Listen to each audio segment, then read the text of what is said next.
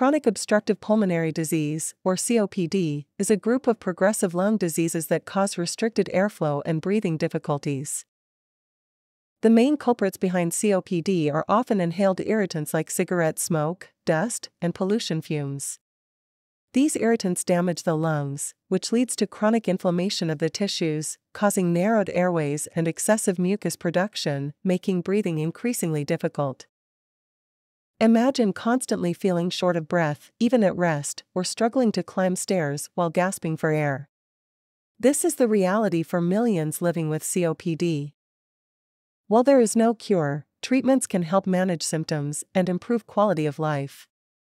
The current standard care for COPD is at least one or two bronchodilators, which may be long acting beta agonist and long acting muscarinic antagonist, often supplemented by an anti inflammatory inhaled corticosteroid. However, these medications seem to have little impact, with as many as 80% of patients remaining symptomatic even on maximum triple therapy. Enter ensifentrine, a novel drug showing promise in the fight against COPD. It is currently under review by the US FDA.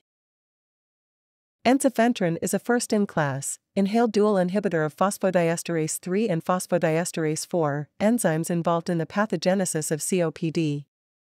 This new medicine is different from other COPD treatments because it does two important things in one puff. It relaxes the airways in your lungs and reduces inflammation. Let's briefly take a closer look at how this happens. Phosphodiesterase 3 is predominantly expressed in airway smooth muscle cells.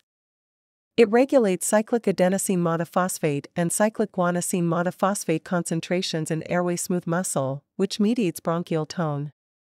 Inhibiting phosphodiesterase 3 leads to increased levels of cyclic adenosine monophosphate, or CAMP, in airway smooth muscle cells, causing relaxation and bronchodilation. This improves airflow and eases breathing difficulties. Imagine opening up a previously blocked road, allowing air to flow more freely. Phosphodiesterase 4 regulates CAMP concentrations in cells associated with airway inflammation and is involved in inflammatory cell activation. Inhibiting phosphodiesterase 4 increases CAMP levels. This helps control the chronic inflammatory component of COPD, which reduces inflammation in the airways. Think of it as reducing the fire that damages lung tissue, allowing for healing and preventing further damage. Ensifentrine also activates the cystic fibrosis transmembrane conductance regulator or CFTR protein. This protein acts as a channel for chloride ions, essential for maintaining the thin layer of fluid or mucus lining the airways. Activating CFTR thins mucus and improves its transport by cilia, allowing for better clearance of mucus. These actions reduce airway obstruction, Clinical studies result from the ENHANCE Phase 3 trials, paints an encouraging picture. These studies enrolled more than 1,500 adults aged between 40 to 80 years old with moderate to severe COPD. Participants were randomly assigned to receive 3 mg of ensifentrine or a placebo twice daily for 6 months. In both trials, ensifentrine significantly increased lung capacity. Patients receiving ensifentrine showed a significant increase in average forced expiratory volume in 1 second, or FEV1, area under the curve over 12 hours compared with placebo. It was 87 milliliters for Enhance 1 and 94 milliliters for Enhance 2. This translates to feeling less breathless and being able to engage in more activities. These studies suggest ensifentrine might decrease the frequency of flare ups, the periods of worsened symptoms requiring medical intervention.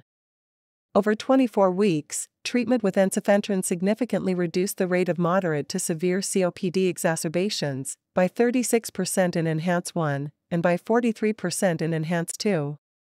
This translates to fewer hospital visits and improved quality of life. Ensifentrine appears to work well alongside existing COPD medications, potentially offering additional benefits to patients already on standard treatment regimens. While promising, ensifentrine is still under investigation and not yet commercially available. In the third quarter of 2023, the FDA accepted for review Verona's new drug application, which seeked approval of nebulized ensifentrine for the maintenance treatment of patients with COPD. They are expected to decide by June 2024. If approved, it would be the first in class, as well as the first novel mechanism, to become available for maintenance COPD treatment in more than 10 years. And that's it for today's pharmacology video. If you enjoyed this video, please give it a thumbs up and subscribe to the channel for more pharmacology content.